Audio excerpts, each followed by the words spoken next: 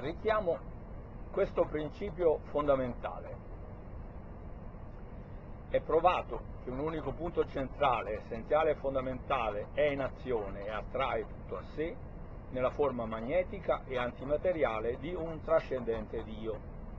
È veramente provato dal fatto che noi, enti relativi, osserviamo sempre ogni azione solo in quella uguale e contraria. Così una vita vista ora in atto, propria e mortale, è la prova indiretta che un Dio la trascende e la fa essere tutta in potenza, condivisa e immortale.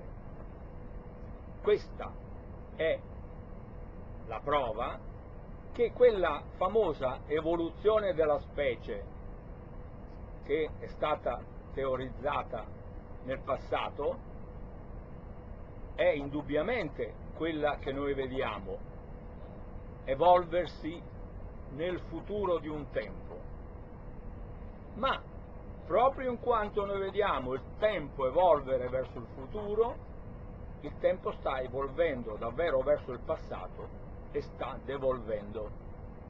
Certo io vi sto sorprendendo perché sono il primo filosofo con il quale voi siete in contatto che sta rinnegando la verità di tutto quello che noi vediamo nell'apparenza di un universo che avanza nel tempo con il lato elettrico e con la materia, mentre in verità indietreggia nel tempo con il magnetismo e con l'antimateria.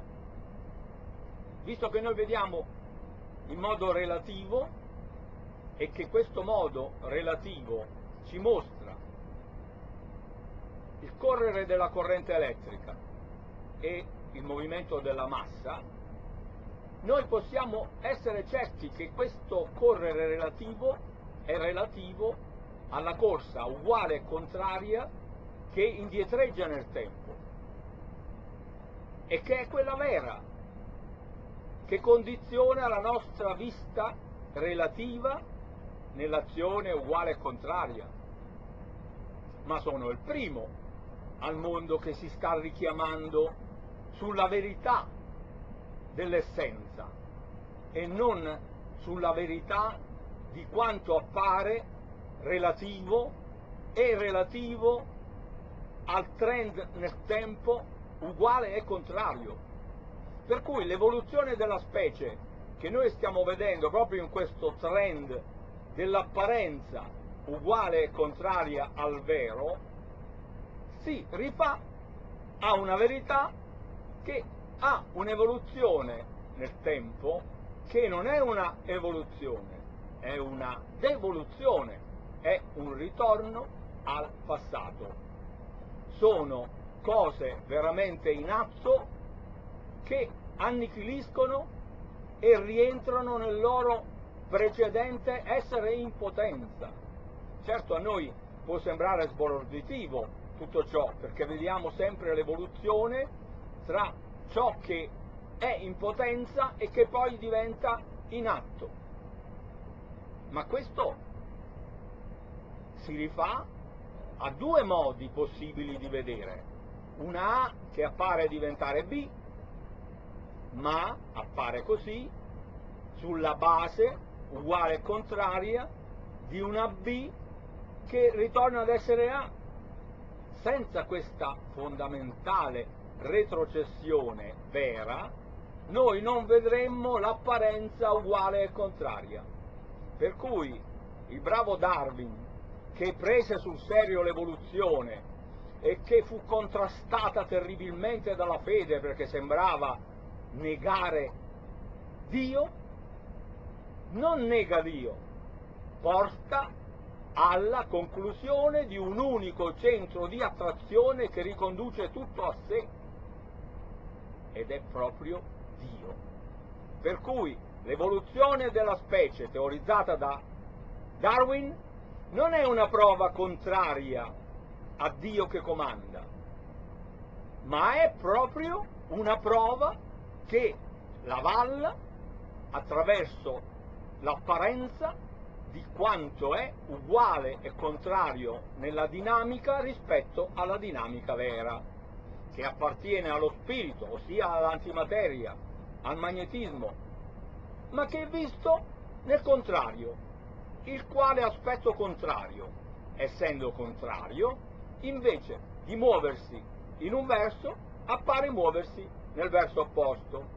Per cui una vera vita che sta tornando all'origine, noi vedendola affidata alle entità opposte, allo spirito e all'antimateria, la vediamo affidata alla corrente elettrica e alla materia e ci mostra che va verso la fine, fine che invece è proprio un moto che dalla fine riporta al principio.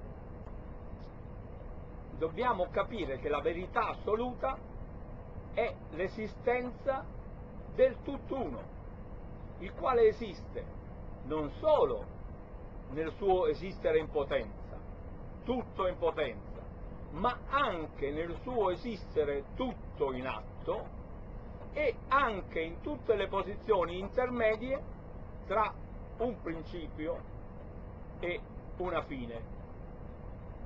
Ora, questi sono i due limiti assoluti che esistono entrambi, come il principio di un film e la fine del film, con tutti i fotogrammi intermedi.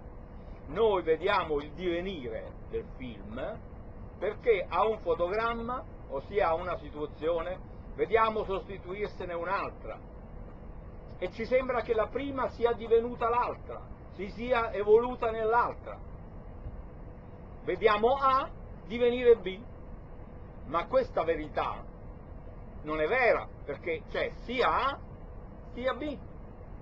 L'uno non diviene mai l'altro, ma può apparire divenire la A, la B, sulla base di un divenire precedente e a rovescio in cui la B rientri nella A. Insomma, immaginiamo di tenere fermo il nostro punto di vista e immaginiamo di avere tutto un film bello in riga in modo che il primo fotogramma corrisponda al nostro punto di vista. Noi dobbiamo muovere tutto il film verso destra se vogliamo avanzare con la nostra vista verso sinistra. Se non operiamo un movimento, non vediamo il movimento opposto. Ma vedendo il, il movimento opposto, noi siamo tratti poi in inganno dal divenire, ossia dalla tesi riconosciuta vera di Eraclito. Vera, ma non affatto vera, perché non è vero che A diventa B e diventa C, ma è vero che esistono A, B e C, perché esiste 10 elevato a 0 che è uguale a 10 elevato a 1 moltiplicato 10 elevato a meno 1. Il 10 elevato a 0 è la forma tutta in potenza. Nella sua sintesi, più 1 meno 1 uguale 0, ma c'è anche la forma analitica di un 10 elevato a più 1 e di un 10 elevato a meno 1, perché la verità è una e trina come esattamente spiegò Gesù Cristo.